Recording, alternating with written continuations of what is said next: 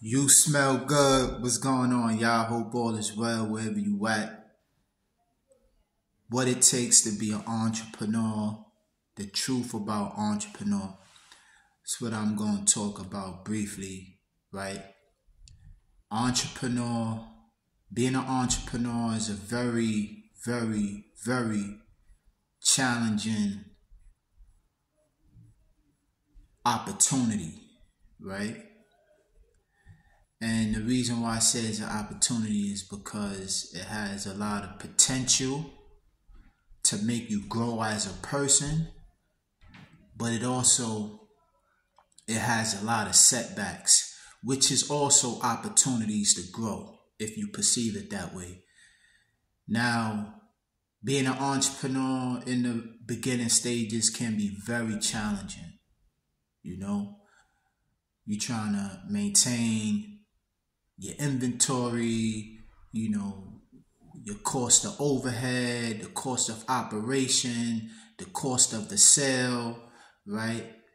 Because it's not just simply making a sale, making money as a lot of people think, especially from what we see being propagated on social media. Entrepreneurship is not like that, right? There's a cost to every sale that you make, right? And all of these things have to be put in perspective.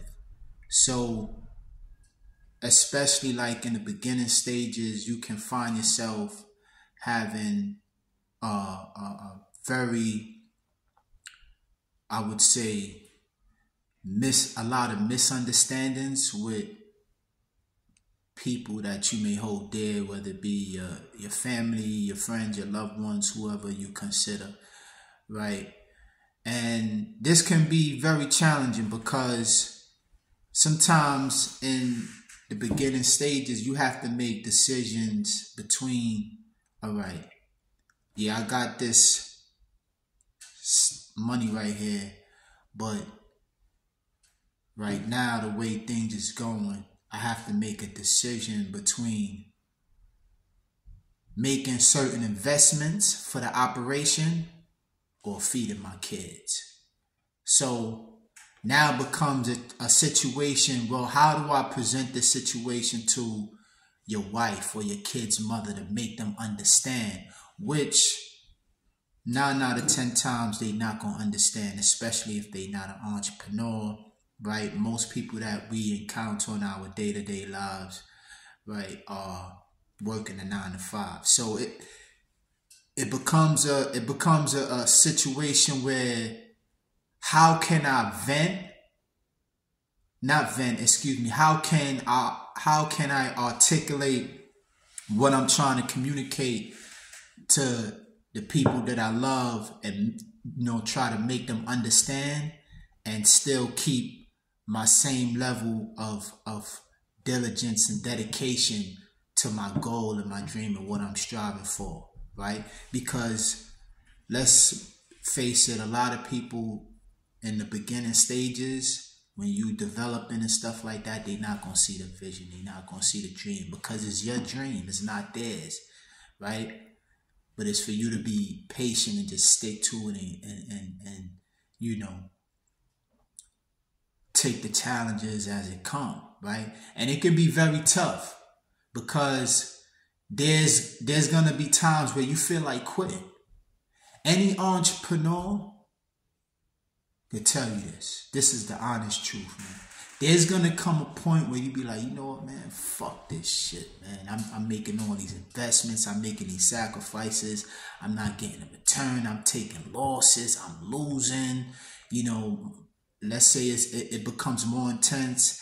If you have a family to take care of and provide for, how do you how do you explain that? Right?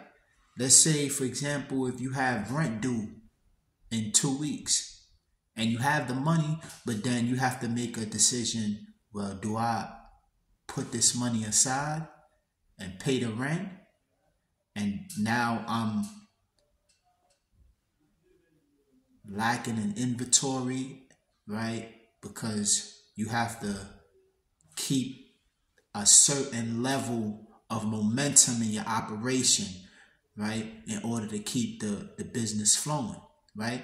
So how do how do I how do I how do I explain this to your wife or, or your loved one or, or, or the people that you love that you're responsible for? It's it's very challenging, right? But in most cases, an entrepreneur is faced with the with the decision, I got to make the investment, and it can cause a lot of problems. This is why a lot of times entrepreneurs in general we are misunderstood, right? Because we come from a place of being a risk taker, right? That's essentially what an entrepreneur is. Is a risk taker. We taking risks right? We taking risks with our lives, with our time, with our money, with everything. And from the outside looking in, a lot of people are not going to understand that. And being mis- being misunderstood can create enemies, right? And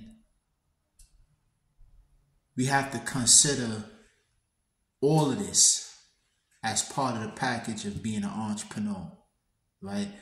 So remember before I close out the video, remember that if you want to be an entrepreneur, just know what you up against. It's not easy. Cause I'm gonna tell y'all something. It's it's times it's listen, there's a lot of times where I feel like quitting.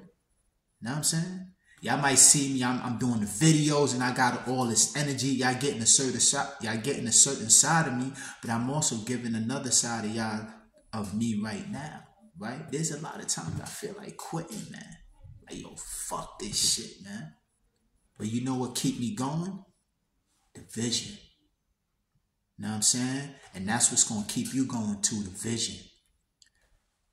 I got this new imported white Oud musk. You ain't never see this before. Nobody has this. New innovation. Y'all better tap in. Lock your orders in now. Now I'm saying it's gonna go fast. White oud musk, man. You smell good.